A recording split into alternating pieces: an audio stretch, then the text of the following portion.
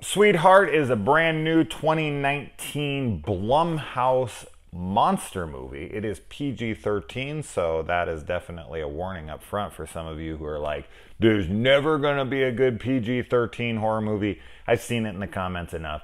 So it's PG 13. So there you go. You don't need to watch it. So, anyways, I'm not saying that you shouldn't. I'm just saying for those PG 13 haters, you need to know that, and then you're done with it, anyways. I'm going to give a shout out to Teddy Brown, who has this as his number one movie of the year or horror movie of the year, one of the two. Um, he absolutely loves this movie. This was just released to Netflix today. It was dropped on Christmas Day. And I'll tell you this right up front this definitely should have been in theaters over Black Christmas, Blumhouse.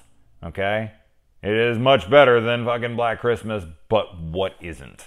Death House. That's about it. Anyways, so I don't even know I have my notes in my lap because I don't have any damn notes for this. All right, so Sweetheart is about a young lady, mid 20s. She washes up on shore of this little island uh, along with somebody else.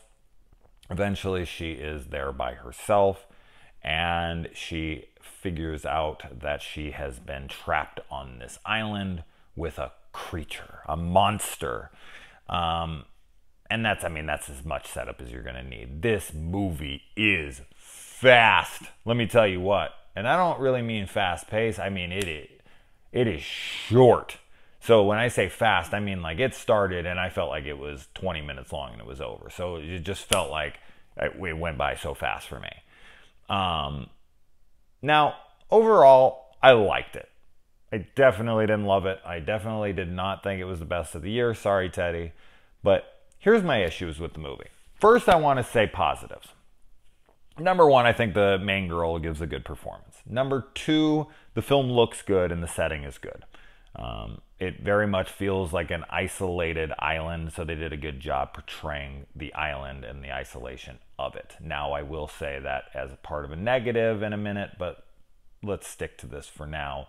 And the biggest positive I have is the creature itself. Monster movies, a lot of the times, can lack when it comes to the actual monster. So we can have a lot of buildup, a lot of buildup, and then when the monster is revealed, it's like, what the hell is that? That's awful. That completely ruined the movie. Look no further than a movie called Man versus Holy Shit. I literally turned the movie off the second the monster was shown. I got up, I said, fuck no, and I shut the movie off. True story. It was that dumb looking.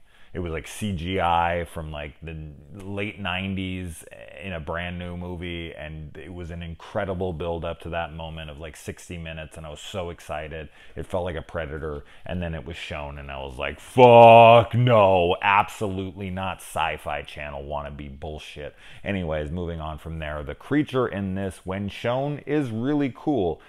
Uh, I absolutely was on board with it. It was a unique looking thing. It kind of reminded me, I don't know if this is a spoiler ish kind of thing. Uh, maybe I shouldn't say what the monster reminded me of. We'll just let you guys um, uh, see it for yourself and then maybe drop me a comment below and tell me, and I'll say, yeah, that was it, or no, that wasn't it, whatever. Anyways, moving on from there. So, kind of getting back to what I was saying earlier about the positives of the isolation of the island on the negative sides of that, I don't feel like the island is a big enough character. Like I feel like we could have played around more with like she's always at the very edge of the island. Yes, it's not a very big island, but we don't really explore much of the island. We don't really go inland. As I said, it's not a very big place, but I just feel like there could have been more exploration of the island and looking around and whatnot, and it just doesn't happen. It's, is it necessary? No, but the film sets up a lot of stuff, and it don't. I don't really feel like it does much with it. Like there's a lot of questions being posed here throughout the film. So you have this character, and during the film, we're kind of questioning her sanity or possibly her um, morality because other characters come into the movie who to me were completely pointless because there's things set up with them especially with another character that we never meet and there's hints at something maybe more like insidious happened there and then it's like okay did it? Did it not? Like that went nowhere. What was the point of that and then the interactions they have with each other and, and the relationships that they have with one another and how that plays into it. And i'm thinking oh this is going to play dramatically. They're going to play off of each other. Things are going to happen. They're going to turn on one another something. And while it does kind of happen not really. Not enough to justify or warrant them even being there. Like i felt like i had as much going on before they got there as when they got there. And when they were introducing the drama of these characters it didn't help the movie. It didn't push it forward where I was like, oh wow, now that raised the stakes.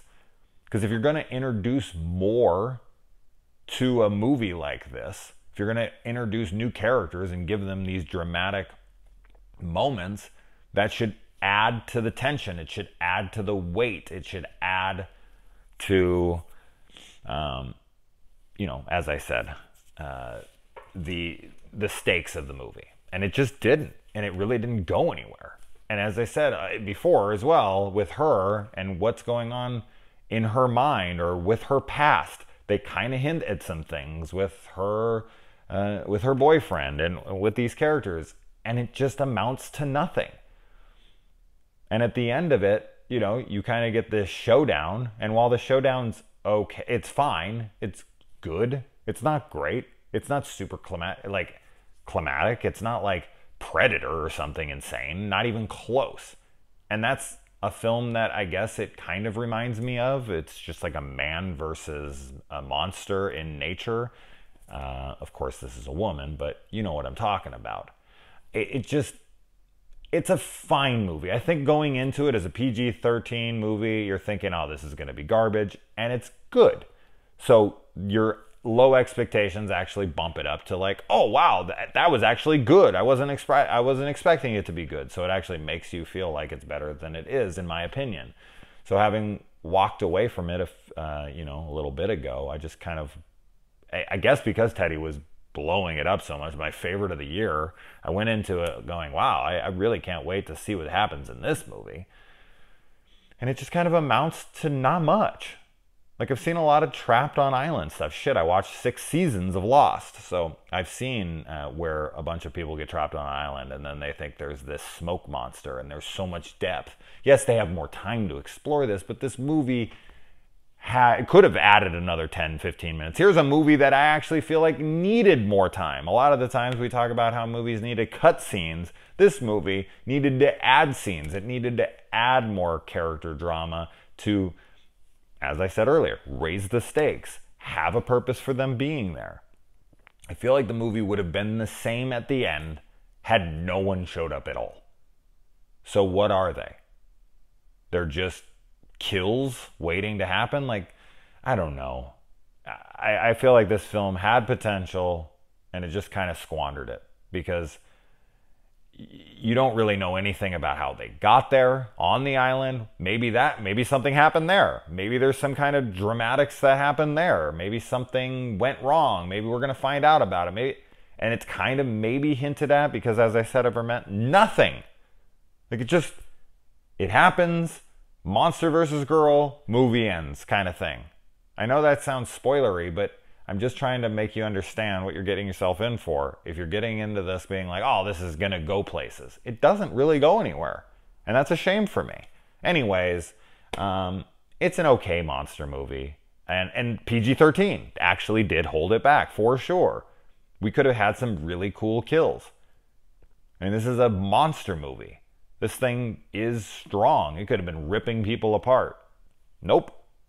Very generic, lame kind of kills it was okay. That's as, that's as good as I'll give it. So, anyway, sorry, Teddy. Uh, not my favorite of the year, but hey, man, I'm glad you loved it. So, anyway, let me know if you guys check it out. It's on Netflix, streaming right now. Adios.